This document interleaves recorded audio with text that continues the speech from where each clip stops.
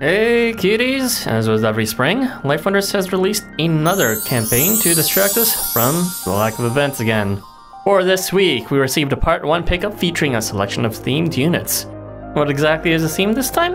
Isn't it obvious? They're all featured in the hit game Tokyo Afterschool Summoners, of course. But how worthwhile are these distractions?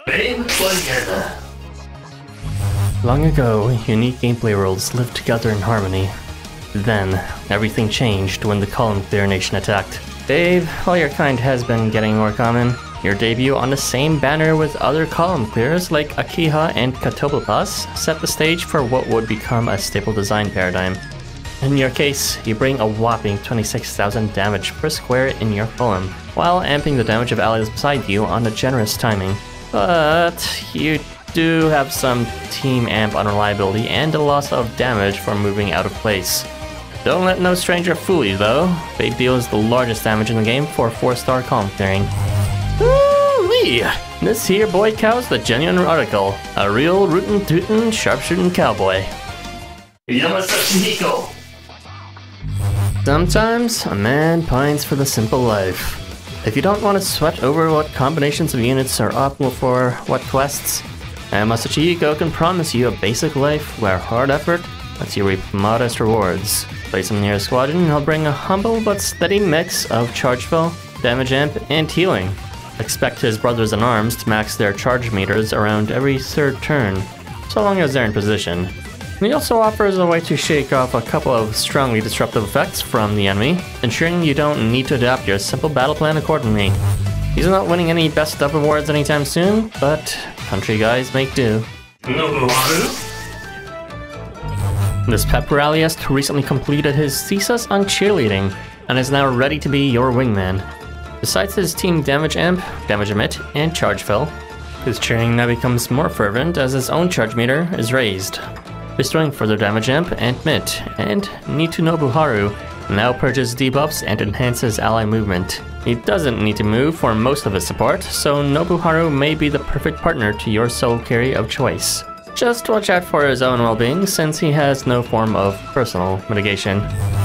His ability to carry his entire team must be because of those grotesquely massive leg muscles.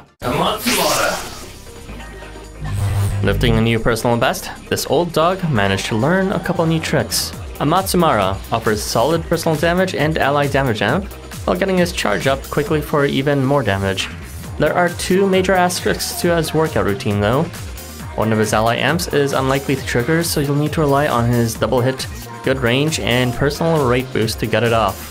Another of his ally amps has a chance of dealing even less damage than without the amp, due to its implementation method. Matsumara gives the enemy an acquired defensive skill while giving allies advantage to that skill. With his buff steal, he can pilfer the enemy's acquired defense, but I would not count on that sub 50 rate. It's a shame the immaculate physique he built is more suited for show than it is for practice. Ryota! Rushing between food stalls so much has given Ryota a new edge over his competition across the festival market. He beelines to distant attractions every phase start with critical damage. And the extra food he secures, he shares with his allies, setting up a generous damage mitt and hot combination. His well-fed party tears apart competing foodies, with Ryota himself overfilling his own stomach before periodically purging its contents to maintain his beach body. He doesn't offer anything particularly flashy, but he's a trustworthy anchor of a friend to lean on to give you the security and confidence to overcome the many hardships and challenges of life. Are such levels of Delulu even possible? After achieving a new level of reality rejection, Kuniyoshi is ready to instigate mass hysteria. His solid damage amp and defense mitt allows for team coordinated big damage within his proximity, and his buff denial ensures their defense is down and offense is precluded. Combined with some damage mitt and a quick charge for board-wide damage denying possession, Kuniyoshi rejects his opponent's reality and substitutes in his own. While his best uses are in enemy buff heavy challenges, his mastery of the fundamentals in damage and defense ensures he'll always be contributing in any quest. Oh, Kuniyoshi, you may be unpopular for your callousness, but no one can deny the results from your earnest passion and craft. So, what are my thoughts on this banner? Well, while this banner has many solid units overall, not a single one of them is particularly exceptional. Like most trending seasonal anime, you're unlikely to leave unsatisfied if you give it a try, but you're also unlikely to be left with a lasting impression. That's all for now, cuties. Catch you next week.